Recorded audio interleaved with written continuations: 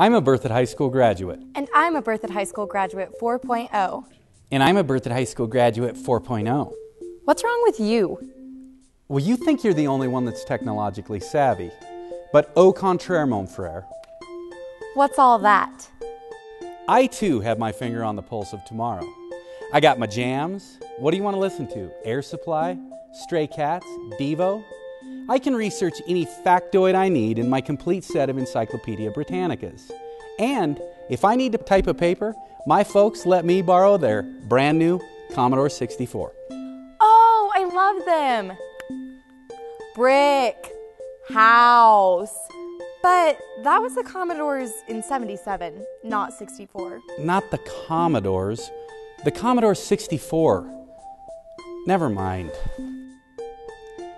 Now what are you doing? Instant communication. I'm writing a note to that Fox Michelle in study hall. How is that instant communication? Here, I'll show you. Do you want to meet me at A&W? Circle A for yes, B for maybe, or C for probably. I have to check with my mom. Yeah, she said D. No and you.